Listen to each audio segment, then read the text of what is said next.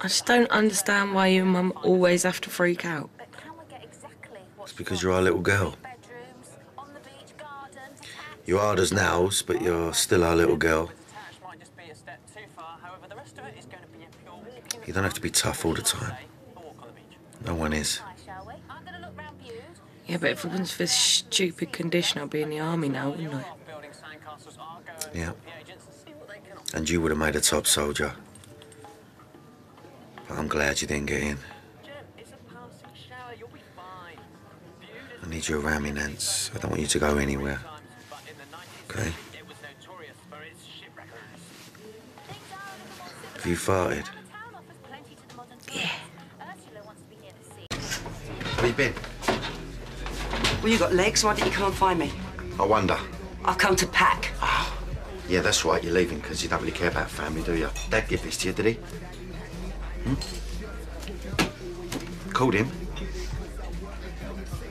None of your business. Is that where you're heading? Shouldn't you go and see him because he's your son? Not because you've got nowhere else to go?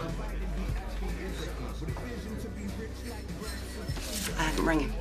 He's playing you, Dad. He knows exactly what buttons to press. He's jealous. Save your psychology for someone who's got more than one GCSE, yeah? He hates the fact his three kids are together he's not. What did he say? Nothing that I didn't know already. What did he say to you? He said that I would never be part of your family. He said that I'd always be an outsider, and you know what? For once, he wasn't talking rubbish. Well, you are part of this family and we do want you to stay. On your terms. At arm's length, nothing too permanent. Because I'm too much of a risk, aren't I, Mick? I don't blame you. I wouldn't trust me either. Is that what you think? I didn't fight hard enough. I watched them take you away, and I didn't fight. Fighting would have made absolutely no difference. The only person who should feel guilty about letting us down is Dad. I've never blamed you, and nor has Tina. We're your family. We always have and always will be. It's not happy families, isn't it? Because Linda is going to make you choose. We all know where this is going. I can't promise you that I can change Linda's mind. I will try.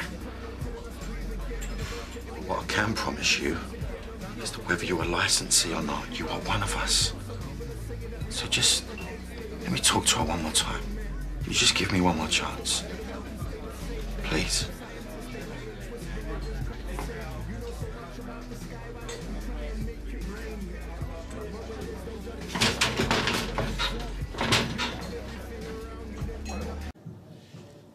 I know what she's asking. It's, it's crazy. It's because she's scared. Shirley, scared. She's scared that she hasn't got nothing. Dad's got into her nuts. It's made her feel like an outsider. It's made her feel like she's not wanted. So we just hand our business over. What's wrong with a bunch of flowers? She's never really belonged, you know? I don't want her to feel like that anymore. You're asking too much. If you're not going to think of our family, fine. But I am. Please don't make me choose.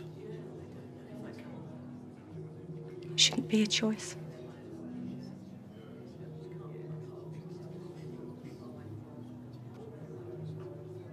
Do you know what?